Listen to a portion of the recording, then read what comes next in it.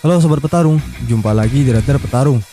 Gua kembali menemani kalian dengan rangkuman seputar informasi yang beredar panas baru-baru ini mengenai dunia pertarungan.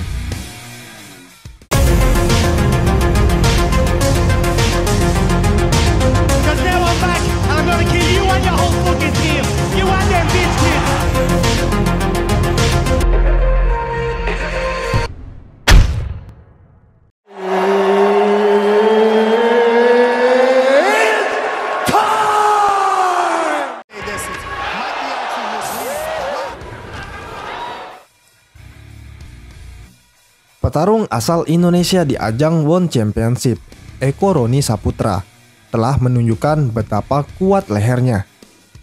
Hal ini terbukti ketika dia menjalani pertarungan dengan petarung asal Filipina, Dani Kinggat. Sayang beribu sayang, petarung asal Samarinda ini masih belum beruntung. Dia dikalahkan Kinggat dalam pertarungan yang berlangsung tiga ronde. Meski harus kalah, kredit layak diberikan untuk petarung dengan julukan Dynamite tersebut. Dia tercatat dapat menahan sikutan tajam yang dilancarkan oleh Dani Kinggat. Dani Kinggat sendiri adalah petarung elit yang punya jam terbang begitu tinggi karena dia pernah melawan para petarung top, termasuk mantan petarung UFC Demetrius Johnson. Eko Roni menjelaskan bahwa jika yang terkena sikutan tajam itu adalah petarung lain, dia yakin hasilnya akan berbeda. Ketika aku kena spinning elbow itu, dan juga jurus memutar dia juga kan, aku anggap itu kalau orang lain, pasti sudah terjatuh. Tapi kalau aku kena leher sudah biasa. Pokoknya tidak ada kata stop, ungkap Eko Roni. Praktis tidak ada cedera yang dirasakan oleh Eko Roni dari sikutan tersebut. Momen colokan mata yang tak sengaja dilakukan Kinggat juga tidak memberikan efek yang berkepanjangan. Kalau luka-luka nggak ada, tapi jarinya dia masuk mata. Ini babak kedua mata yang kanan ini sudah blur, makanya dia yang minta stop. Tapi aku lari ke medis karena mataku sudah blur. Jadi, aku hanya bertarung dengan satu mata saja yang bisa melihat. Kalau melihat orang sudah ada bayang-bayang, tapi seluruh badanku aman-aman saja. Tidak ada masalah cedera, ungkap Eko Roni.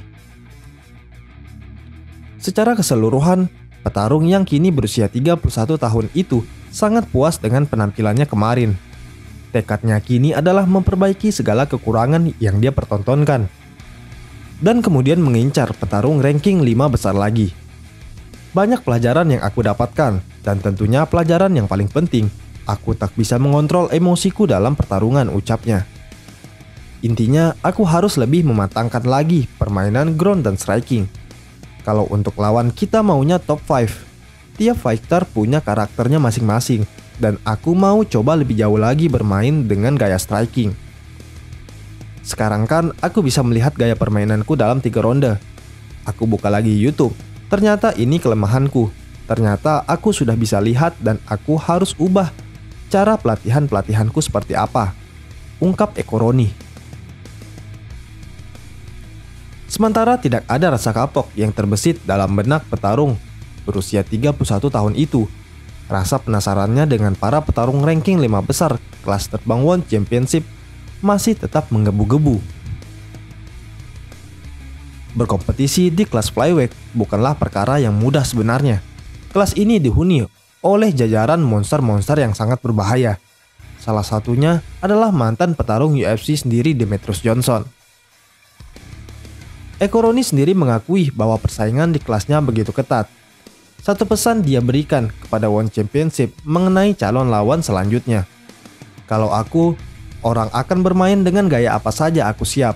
Karena kalian sudah lihat pertarunganku seperti apa. Aku juga bingung karena di flyweight ini orangnya terlalu banyak persaingannya.